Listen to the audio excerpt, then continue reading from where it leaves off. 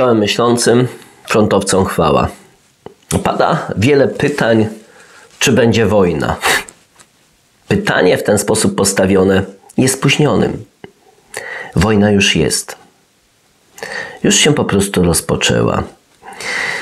Co możemy zrobić? Jedyne na co mamy wpływ, to jest to, w jakim zakresie w stosunku do nas ona będzie mogła mieć przebieg, ale powtarzam, to tyle, gdzie są ludzkie możliwości, gdzie jeszcze racjonalna polityka ze strony naszego państwa, naszego narodu jest w stanie zmienić pewne, pewne kierunki. Ale tak czy owak, w kwestiach zasadniczych ten konflikt, który rozpoczął się na naszych ziemiach, bo wojny trwają, wiele jest konfliktów wokół, ale prawdziwa wojna, która jest w stanie wzruszyć porządek świata, rozpoczęła się tu, u nas, jak zwykle w Europie i jak zwykle wokół nas czy na naszym obszarze, a jeżeli mówimy o terenach Rzeczpospolitej, to dosłownie na naszym obszarze.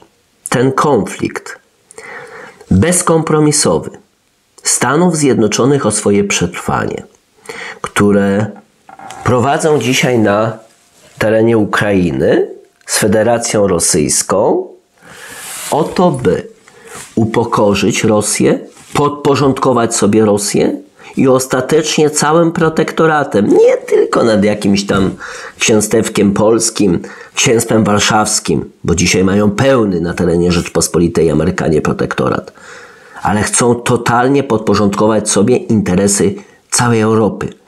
Tak zwanie łyknąć politycznie i gospodarczo Europę, bo Stany Zjednoczone nie są w stanie dalej już przetrwać, a to jest państwo imperialne, które tylko dzięki dominacji polityczno-gospodarczej jest w stanie się utrzymać swoją pozycję. Zresztą, szczerze mówiąc, przyzwyczaili siebie, swoje społeczeństwo, politykę, ale i cały dotychczasowy układ świata, który nie wyobraża sobie, jak może świat funkcjonować bez tej nadrzędnej, naczelnej roli Stanów Zjednoczonych. No, okaże się niedługo, że może i całkiem nieźle sobie funkcjonuje, a na pewno zupełnie inaczej.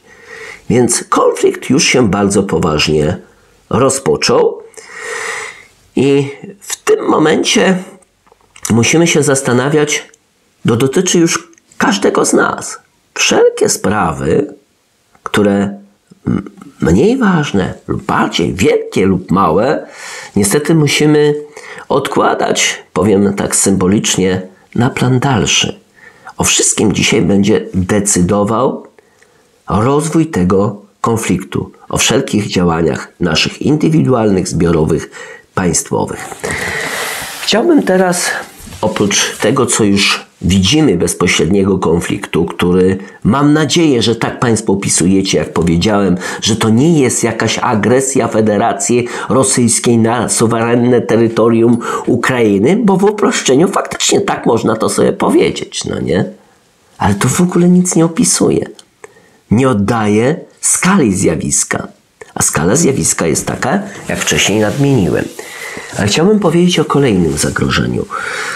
I to ostatni mm, nasz materiał prezydenta Białorusi obraz rzeczywisty koresponduje z tym, o czym będziemy teraz mówić.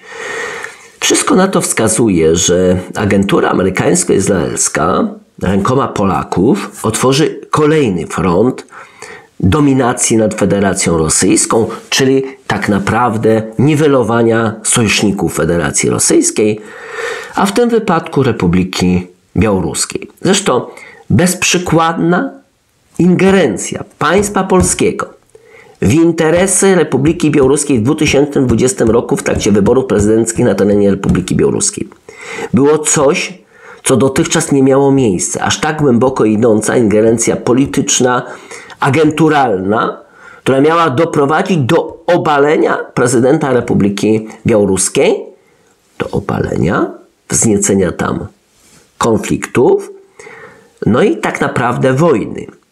Gdyby to się im udało, to wcześniej mielibyśmy ten konflikt militarny, który dzisiaj obserwujemy sobie na Ukrainie, na terenie Republiki Białoruskiej, w Mińsku Grodnie.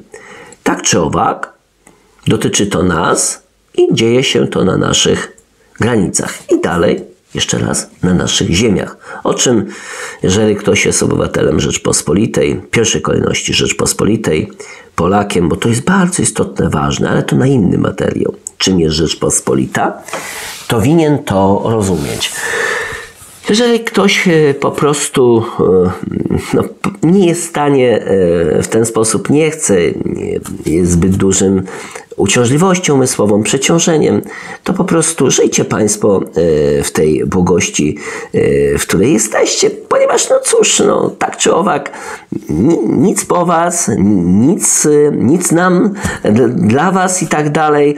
Jesteście puści, bierni, w związku nie ma to, to znaczenia. A i tak, i tak to, co się ma zadziać, to się zadzieje. I dzisiaj mamy następującą sytuację. Tworzy się tak zwany tymczasowy rząd y, na uchodźstwie Republiki Białoruskiej. Rząd emigracyjny. No to taka stara metoda transferu demokracji. No, Stany Zjednoczone to są, specjalizują się w tym, przecież oni wszędzie zaszczepiają tą demokrację, kończy się wojną, zniszczeniami i rabunkiem poprzez Stany Zjednoczone. Imperia tak to mają. No i tutaj mamy podobną sytuację. Rozwija się to na terytorium obecnej y, Rzeczpospolitej Polskiej, ale także na terytorium obecnej Litwy, czyli Rzeczpospolitej Republiki Litewskiej. No oni poszli już e, w tym zaangażowaniu, czyli tak naprawdę przejęciu przez agenturę amerykańską struktur władzy tych niby oficjalnych litewskich tak głęboko, że wyobraźcie sobie, przecież oni nawet wypowiedzieli wojnę Chinom. No cóż, e, tam półtora miliarda czy miliard siedemset Chin, a co niecałe 4 miliony Litwy, no to jest potęga. No, ich stać na wypowiedzenie wojny, czyli chodziło o uznanie tej ambasady tak zwanego e, Tajwanu. No oni naprawdę to, to zrobili, a w tym zakresie mm, bycia narzędziem amerykańskiej polityki i doprowadzania do konfliktu z Republiką Białoruską, to nawet przed obecną e, Polską wiodą, wiodą jak widać prym, ale my tutaj zwracamy się na nasz obszar. No i cóż, powstał ten rząd, pani Ciochanowska, tam następnie powołują tych swoich ministrów, jest też e, wyznaczony przedstawiciel, minister, pan Paweł Łatuszka, niejednokrotnie wspominałem, do tak zwanego transferu władzy. Co to oznacza transfer władzy? No to znaczy, że transfer, przeniesienie tego rządu na emigracji na oficjalny rząd w Mińsku na terenie Republiki Białoruskiej. No cóż, poważne, mm, poważne sprawy, poważne deklaracje. Przypominam, że pan Paweł Łatuszka Został wyposażony w naszym imieniu przez państwo Polskę, polskie willą na Saskiej Kępie w Warszawie z naszych zasobów MSZ-u, no i tam ma swoją siedzibę, no i stamtąd wszystko jest to, zresztą nie tylko stamtąd, koordynowane. Ale zanim to pozwolimy sobie taki przynajmniej dwuminutowy materiał z telewizji Republika, E, zgodnie z prawami autorskimi posłużymy się e, tym, e, tym wszystkim. Tu damy, damy właśnie jak gdyby ten przekaz. No i w swoim wywiadzie pan Paweł Łatuszka dopuszcza się słów następujących. Warto to, kochani, wysłuchać. Europejskiej. I, I w końcu dojdzie do, do Unii Europejskiej, dojdzie do NATO.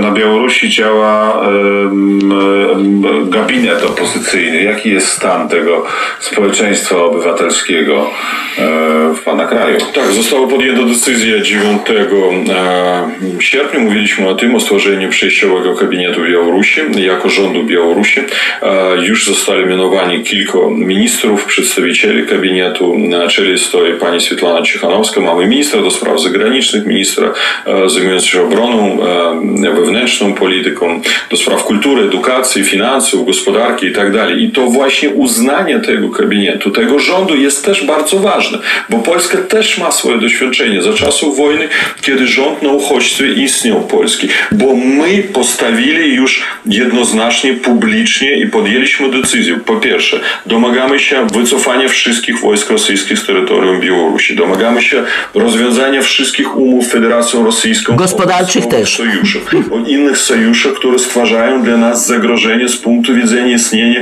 naszego państwa. Opisaliśmy wszystkie kroki, które będziemy podejmowali na arenie międzynarodowej, ale tu najważniejsze również wewnątrz, bo mamy opracowany plan zwycięstwa na Białorusi, Pieramogach po białorusku, kiedy do niego zrekrutowanych jest ponad 200 tysięcy Białorusinów, którzy oczekują właśnie tej, ten decydujący moment, kiedy będziemy stawiali opór temu reżimowi Łukaszenki, kiedy, kiedy może niestety, no będzie to oczywiście trudna sytuacja, nas, nam trzeba będzie znów stawić opór armii rosyjskiej, która będzie wchodziła na terytorium Białorusi, bo tak to było już w marcu i mieliśmy tego przykłady, partyzantki białoruskie i tak dalej. Na pewno nie chcemy tego, nie chcemy żadnych starć na terytorium Białorusi, dlatego my mówimy naszym partnerom europejskim, postawcie zarzuty dla Łukaszenki, ukarać w ramach jurysdykcji uniwersalnej wszyscy, kto winny w torturach, ukarać w związku z porwaniem samolotu. Dzięki, wystarczy. Słyszeliście Państwo, powiem też tak jako obywatel Rzeczpospolitej, widzieliście ten gest Pawełka. My też nie chcemy, żebyś Pawełku wprowadzał tu nas Polaków, że a my się dobrze znamy, Rzeczpospolitą w swoją wojnę, znaczy swoją, wymierzoną przeciwko Polakom i przeciwko Republice Białoruskiej, przeciwko swemu narodowi Białorusinom. W interesie Amerykanów, agentury amerykańsko-izraelskiej, bo to robisz. Państwo żeście to dosłownie słyszeli, to się dzieje. Czyli Pieremoga, nasz plan zwycięstwa, ma 200 tysięcy zrekrutowanych, no, bojców, ile, nie wiem kogo, przygotowanych tych, którzy już na terenie, 200 tysięcy, spora armia na terenie Republiki Białoruskiej rozpoczną przewrót, tak? Wspomniał o marcu tego roku, czyli y, faktycznym, bo to się odbywało, na kolejach, sabotażu, jeśli chodzi o linie y, kolejowe, przerzutu wojsk rosyjskich z terenu Republiki Białoruskiej, a przypominam, że to są państwa partnerskie związane z sobą sojuszami militarnymi, na teren wojny, na teren wojenny na Ukrainie.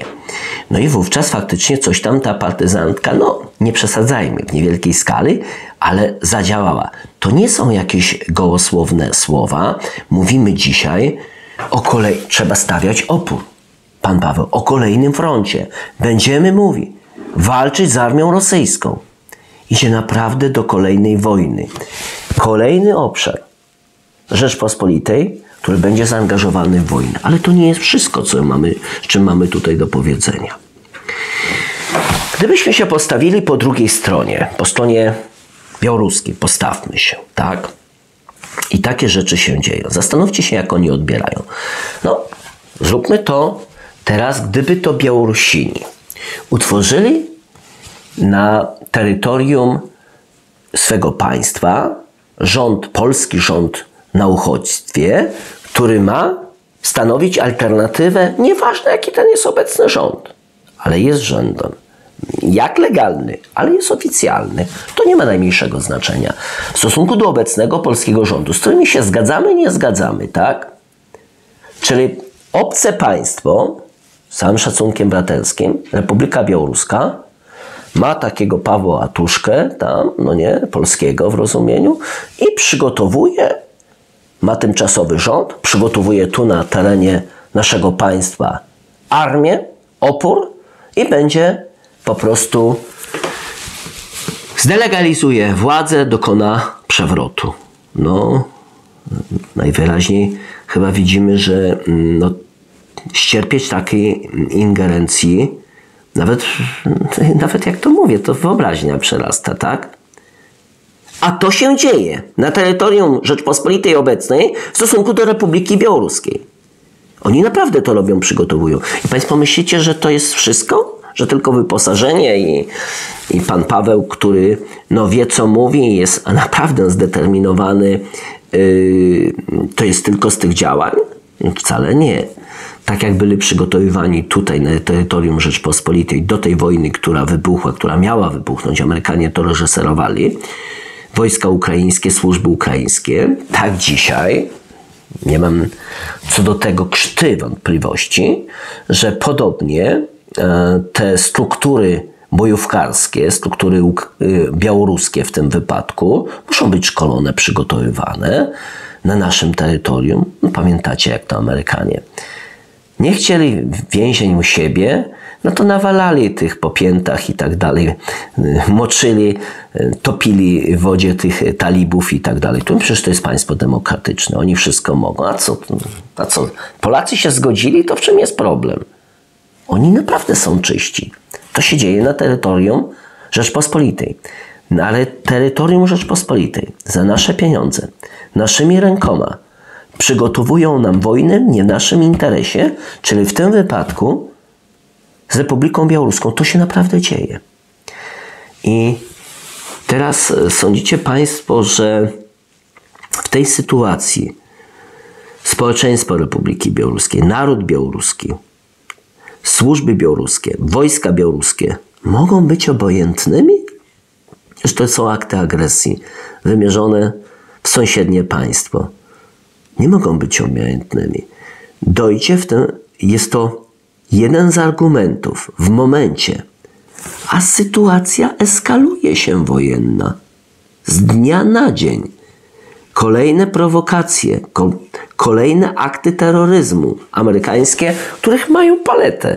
Oni się przez kilkadziesiąt lat nauczyli tego. To są specjaliści od konfliktów. To są specjaliści od niestandardowych działań. Więc możemy sobie wyobrazić, że tego typu zdarzenia, które, o których tutaj mówimy, mogą stać się główną osią konfliktu między obecnym państwem polskim a Republiką Białoruską. I czy to jest w naszym interesie? Czy możemy, no oczywiście chyba tylko głupcy są w stanie stwierdzić, że którzy chcą przejść do wojny, że tak. Ale tym, którzy naprawdę chcą wojny, to żaden problem, kochani. Jest, macie możliwości, chcecie sobie walczyć, postrzelać, sprawdzić się. Są linie frontu faktyczne, biegajcie tam, nie ma problemu. No nie, spełniajcie swoje chore, chore marzenia. W żaden sposób nie, nie, nie róbcie frontu, linii frontu Rzeczpospolitej i jeszcze raz tutaj bardzo mocno, mocno podkreślam jeszcze mamy czas, żeby temu przeciwdziałać. W jaki sposób? No to każdy logicznie myślący człowiek chyba sam dochodzi do. My będziemy oczywiście jako frontowcy informować, ale każdy sam chyba dochodzi do, do pewnych wniosków, co możemy zrobić, żeby dzisiaj ten argument, zagrożenia z wykorzystywaniem, że na terytorium Rzeczpospolitej mieszczą się jakieś jątrzące pomiędzy Polską a Białorusią komórki, żeby ten argument zniwelować. Ale pozwólcie Państwo jeszcze na bardzo krótkie ogłoszenia e, parafialne z, naszej, z naszych działań formacji Front. Bardzo dziękuję za spotkania e, z, z, z niedzieli i poprzedniego dnia w Siedlcach i Białej Podlaskiej. Dzięki za zebrane podpisy. Z góry zapowiadam, że każda osoba, która się dodatkowo zgłasza, rozmawia ze mną, robi to samodzielnie. I ja mam wszelkie kontakty, a nie wiem ja z kim rozmawiam, z jakimi mm, służbami, z jakimi rozbijaczami, z jakimi różnego typu cwaniaczkami. Więc wszelka wiedza jest tutaj u nas zebrana w centrali, kto gdzie, na jakim terenie działa, więc zapraszamy, ale zapraszamy też do indywidualnego działania i ciągle cały czas podkreślamy. A i to, co żeśmy ustalili. To, żeby mieć wpływ, żeby nie mętkować formacji front, to będzie decydować to, i ci ludzie faktycznie będą mieli poważanie, znaczenie, którzy brali udział w zbieraniu podpisów. To znaczy, że mieli chęć, odwagę i determinację w odpowiednim czasie stanąć po stronie prawdy, mieć tą osobistą odwagę i przestać tak e, ściemniać i grać polactwo, a starać się być rzeczywistymi Polakami.